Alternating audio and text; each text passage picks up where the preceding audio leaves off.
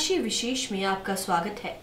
सावन के माह में शिव भक्त भोले भंडारी की भक्ति में डूबे रहते हैं और दूर दराज से लोग भोलेनाथ के प्रसिद्ध एवं विशिष्ट मंदिरों के दर्शन करने पहुँचते हैं, जिनकी कथाएँ बेहद अद्भुत हैं। आज आपको मृदुभाषी विशेष में बताएँगे ऐसे मंदिरों के बारे में।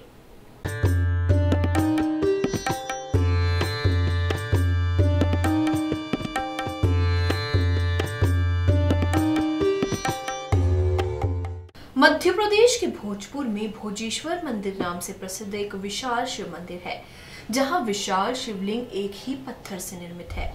ये विश्व का सबसे बड़ा प्राचीन शिवलिंग माना जाता है।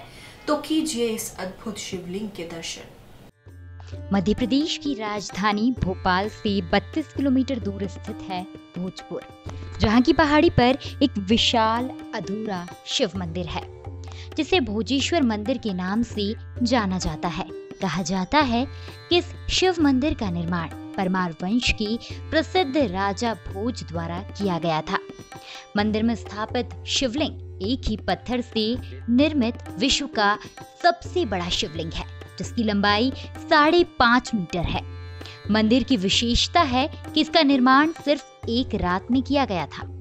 हालाँकि इसका निर्माण अधूरा क्यों रखा गया? इस बात का इतिहास में भी कोई पुख्ता प्रमाण नहीं है।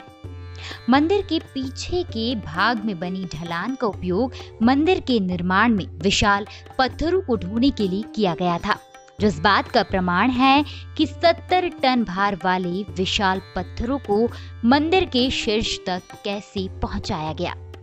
यहाँ वर्ष में दो बार वार्षिक मेले का आयोजन किया जाता है। जो मकर संक्रांति व महाशिवरात्रि पर्व के समय होता है। भक्तों की आस्था के इस केंद्र में भगवान शिव की पूजा अर्चना करने का ढंग भी बिल्कुल अनोखा है।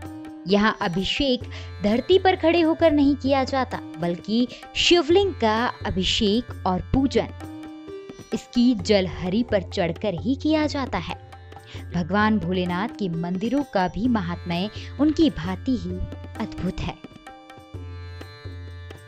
तो एक तरफ़ जहाँ आपने देखा, लोग इस विशाल शिवलिंग का पूजन करने काफ़ी दूर दराज से आते हैं तो वहीं भारत में एक अनोखा शिव मंदिर भी है, जो उत्तराखंड के देहरादून में स्थित है, जहाँ भगवान भोलेनाथ के दर्शन करने के लिए दूर दूर से श्रद्धालु आते हैं, लेकिन उनकी पूजा नहीं कर पाते हैं।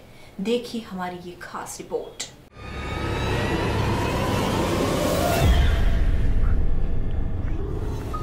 जी हाँ यह अनोखा मंदिर उत्तराखंड की राजधानी देहरादून से 70 किलोमीटर दूर एक कस्बा है, थल, जिससे लगभग 6 किलोमीटर दूर एक गाँव सभा बलतिर में स्थित है, जो हतिया देवाल के नाम से प्रसिद्ध है। इस मंदिर को अभिशप्त शिवालय कहा जाता है, लेकिन फिर भी पोले के भक्त दर्शन करने के लिए दूर दूर से आते हैं और इसकी अनूठी कारीगरी को सराहते हैं।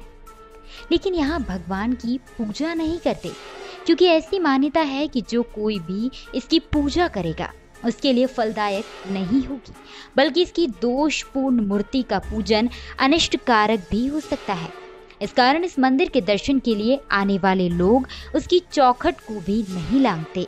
इस मंदिर में भक्त मन्नतें तो मांगते हैं, पर कोई कभी भी यहाँ एक लोटा जल तक नहीं चढ़ाता है और ना ही पुष्प अर्पित करता है। ये मंदिर अपने आप में खासा महत्व रखता है।